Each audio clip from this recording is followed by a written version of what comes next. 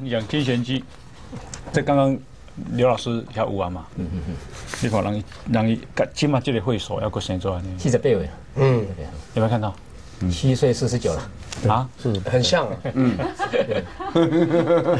这个这个有像美人的女儿对，我，我我对，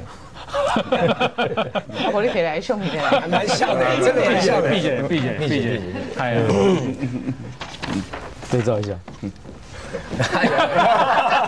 眼神往那一边，而且哎，你们两个不要放在一起了，因为那个那个画面塞不下。你看他们，他们的北韩呢，他们真的。他们的女生真的是都选选了一些啊，我我这次非常难得的在那个呃，我们去妙香山的时候住他们一个饭店里面，然后饭店里面的服务生，我特别跟他们要求，因为我住在那边三天，每天早上吃早餐，我就故意跟他们有开玩笑讲，他们就就就会偷笑。第三天我终于说，你可不可以跟我拍照？他们就看看，没有人，赶快拍照。他们其实他们其实不行跟不能不能不能，他们是被选过的。那包括说我那次去呃北韩坐飞机啊，印象非常的深刻。嗯我从这个单从沈阳要出发坐飞机的时候，它就是一家航空公司，就是北韩航空。然后北韩航空一上去，就是感觉到那个飞机是二次世界大战之后退掉不要的，因为上面没有冷气，他发给你一个小扇子。然后呢，每一个那空中小姐，你看说哇，惊为天人呐、就觉得哇，好漂亮，韩国人真漂亮，皮肤又白，然后笑容可掬，然后脸圆圆的，然后穿着他们那个这个传统的韩韩式服装，然后一个一个，好比说第一排，他们就问我，我现在用国语来讲，他就，哎，先生咖啡还是茶？先生咖啡还是茶？因为呢就很很有礼貌。不过上飞机之前，导游就讲说，你千万不要拿相机去偷拍他们。但是我是媒体工作者，我当然想要补补一些镜头，我就拿着相机假装在看别人，我就这样拍他，然后一个眼睛在偷瞄他，他就说，呃，第一排，先请问喝咖啡还喝茶？喝咖啡喝茶？喝咖啡喝茶？一看到我就不可以拍啊！马上不可以拍啊！马上变脸，你知道我吓得我都哦，什么啊？马上把那个相机关掉。本来是好好的，现在咖啡茶开，不可以拍啊！哇，我就觉得哇，他们是怎么了？大逆转了。不可以拍啊，然后他会再问你一句：你要下面还是要命？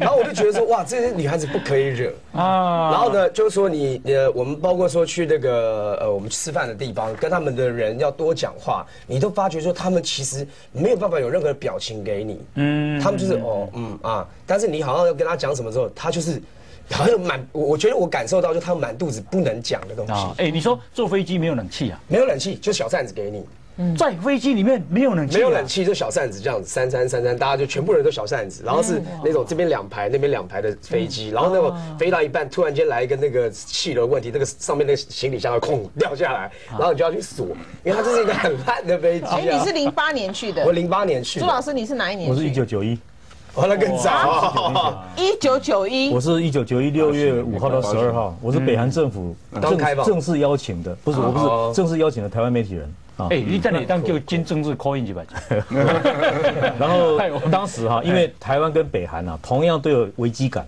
感觉要被自己长期的盟友所抛弃。嗯，那么他知道北京要跟南韩建交，好，所以北韩感觉到危机，那么台湾感觉南韩要断交，嗯，所以敌人的敌人就是朋友。哦，所以当时北韩对台湾一直一直在招手，啊。来了台台湾好多派了好多团来台湾，那么也邀请台湾人、台湾记者、台湾商人啊到到北韩去，所以北韩当时对台湾充满了期待。哇，所以可以当成看的平壤跟小马看的时候又不一样啊，了。其实没有改变，我觉得应该是没有改变就表示十。九年来没有进步。其实美人姐，我真的是倒蛮怀疑的。我们看到的平壤市就在羊角岛这个大同江上面，我们眼睛四周也看到这个环境，我都觉得一切都是假象，哦。给我感觉都是假，象怎做么假法？我们等一下再谈？对等一下再谈来我们先休息，进广告。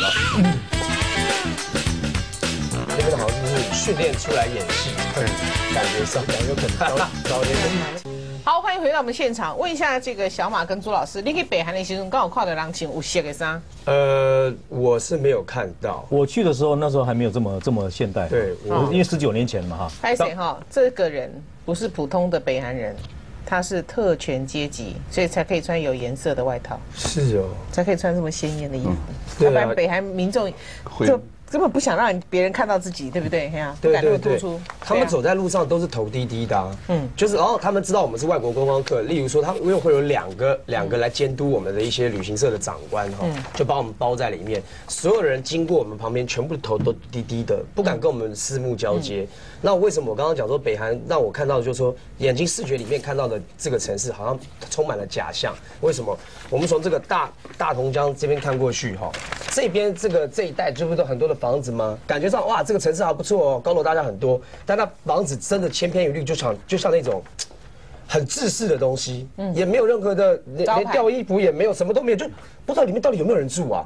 是不是是毛坯屋啊？国际的现代化都市不都这样吗？哎，但是很奇怪哦，哎它就是找只有台北有这个铁窗啊你既然你既然整个城市这么多高楼大厦，是不是路上应该有人？对没有人呢、没什么人呢、那人又去哪里了？所以就觉得很奇怪。然后你因为你能够看到的范围都是他们告诉你的范围之内，所以我觉得北韩应该也还蛮大的，还有别的地方我们没办法去的，包括他让我们去参观他的地铁，他的地下铁呢是全世界号称最。深的地下铁，呃，深度一百四十米。